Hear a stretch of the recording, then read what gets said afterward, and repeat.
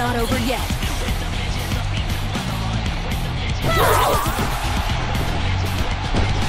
Do you have a fever or something?